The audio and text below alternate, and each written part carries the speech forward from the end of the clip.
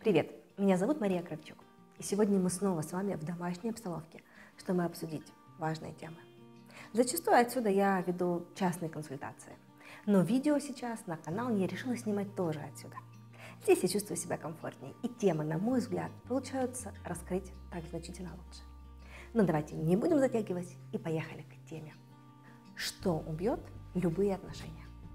Так мы с командой определили вопрос – котором кроется много подводных камней. Если их не разобрать, то таки можно наткнуться своим кораблем на айсберге и разбить его в пух и треск. Интересно, что сегодня я сначала сильно вас запутаю, но потом обещаю, что распутаю. Поэтому досмотрите видео до конца, чтобы все стало вам предельно ясно. Конечно, я знаю, знаю, вы ожидаете, что я вам сейчас скажу, что измена. Измена – это то, что всегда убьет отношения.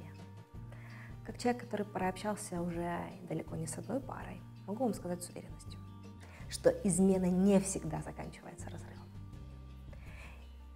Если пара способна найти в себе силы и помощь в том, чтобы выйти из измены правильно, то, ну, если я скажу вам, что их отношения стали даже крепче, то, наверное, вы выключите это видео.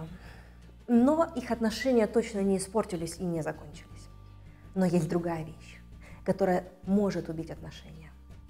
И то, что я обещала вам по запутыванию. Вот она серединка, центр. И вот есть две крайности. Сейчас я вам скажу то, что убивает отношения. А потом скажу то, что их спасает. И это будет одно и то же.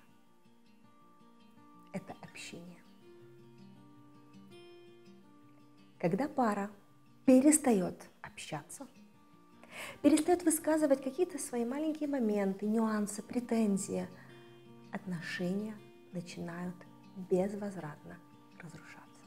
Если в нужный момент их не подхватить и не вытащить все эти мелкие, знаете, занозы, которые залазят по одной под пальцы, под когти, и там сидят и начинают нагнивать, если их не вытащить, то в определенный момент становится взрыв.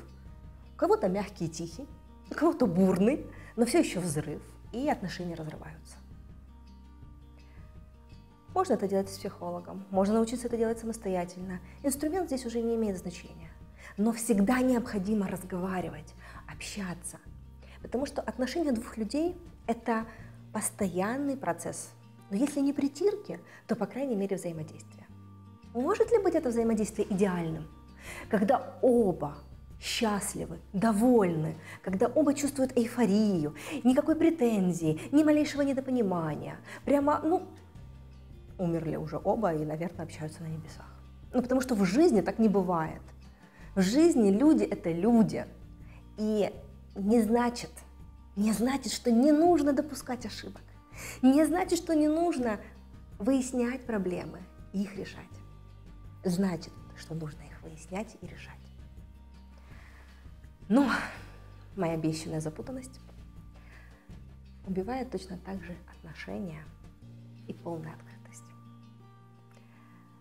Знаете, что самое худшее, что может быть для отношений, это уметь читать мысли другого человека.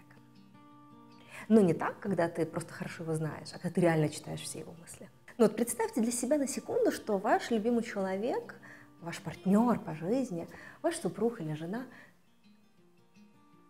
все полностью знают, что вы думаете. Она спускается по лестнице, а вы видите у нее свисающий живот и жирные ляжки, и она знает, что вы это думаете. Или он приходит домой уставший, а в голове проскакивает мысль «скотина снова ничего не делал». Вот эти фразы, это же не обязательно не любовь.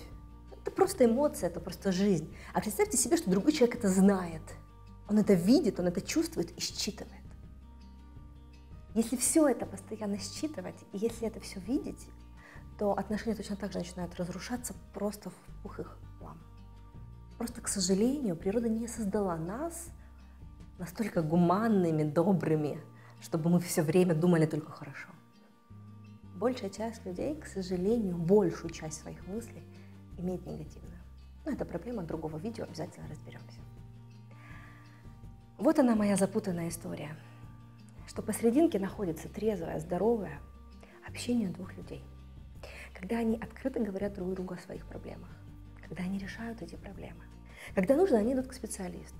Когда они способны, они решают их самостоятельно. Но они их решают, решают годами, десятилетиями, своими способами, чужими способами, но решают.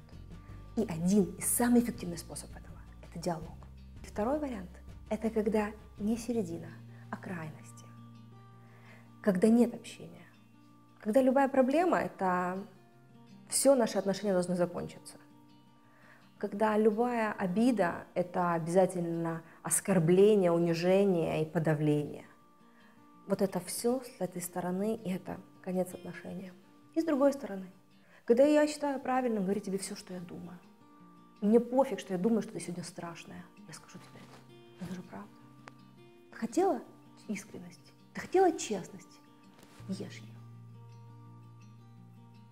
Это тоже крайность, после которой отношения не будут развиваться, а умрут, потому что никто не выдержит голой правды. Вот она моя запутанная способны отношения жить вот в этом маленьком промежуточке, посерединке, между крахом и крахом. И именно потому, что этот отрезочек настолько тонкий и узенький, существуют такие видео. Надеюсь, я не запутала вас окончательно. Напишите в комментариях, что вы скажете по поводу этого близкого вам, далеко. Что-то откликнулось или я просто так потратила 7 минут вашего времени. Если ты хочешь живого общения, то регистрируйся на бесплатную практику. Откровенно о женском. Там мы разговариваем на темы, которые близки, в живом режиме, режиме реального времени. Там всегда весело и интересно. Регистрируйся прямо сейчас. Если этот звук попадет в видео, это значит, что моя дочь плачет. Так что мне пора заканчивать и бежать туда. Хорошего дня.